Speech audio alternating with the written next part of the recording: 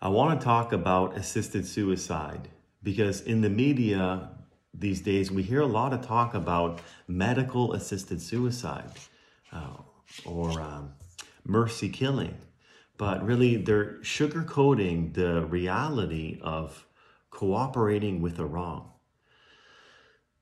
Now, we as a society, especially as a first world country, need to prevent suicide, not cooperate with this wrongdoing.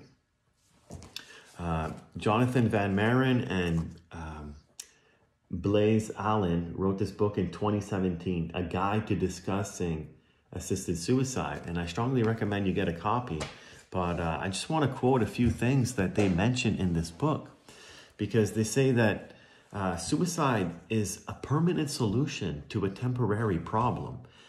And often, suicide is the symptom of some other unmet need.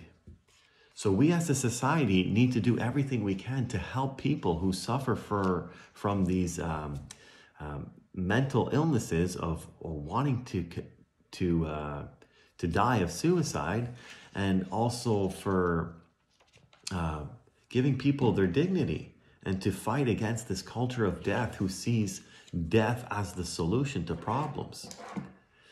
One of the things that uh, Blaise Alleyne and Jonathon Van Maren say in their book is that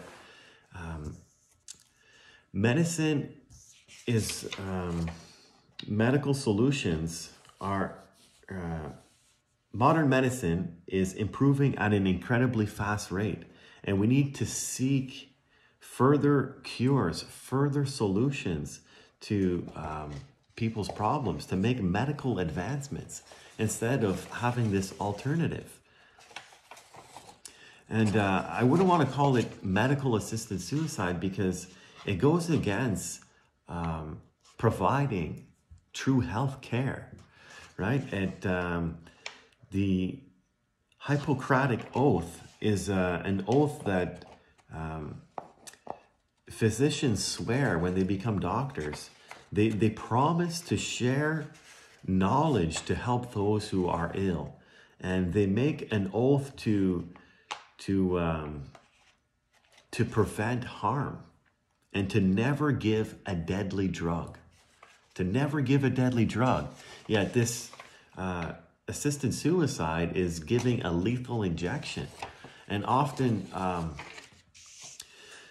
you know the sufferings that people have uh, today right their conditions we might have solutions for them tomorrow or in a, a, few years from now. Because like i said modern medicine is quickly advancing. And if we have suicide as an alternative this removes the incentive to seek further solutions to make further advancements. Another interesting thing that Jonathon Van Maren and Blaise Alleyne say in their book is that often when we hear of um, medical, quote unquote, assisted suicide, um, you know, the, the discussion is has a double standard because if somebody who is non uh, uh, is non-disabled speak about suicide, often they're discouraged and they're offered suicide prevention. But when a disabled person talks about suicide, suddenly the conversation is overtaken with words like choice and autonomy. And if we were to uh, try to prevent the suicide, as a family member or as a, um, you know, good law-abiding citizen, somebody uh, with with decency tries to prevent suicide for from these people who are uh, are suffering, uh, we're seen as those who are undermining their ability to make decisions. But suicide is the symptom of a mental illness. Suicide is not the solution for those who suffer from a mental illness. Now, there's nothing um, nice about this um, action, right? It's, we, we can't sugarcoat it and to call it mercy killing. And there's nothing medical about assisting somebody in um, terminating their life by suicide. So, brothers and sisters, I strongly encourage you to get a copy of this book. It was uh, written in 2017, but it's very relevant, and uh, our society is pushing uh,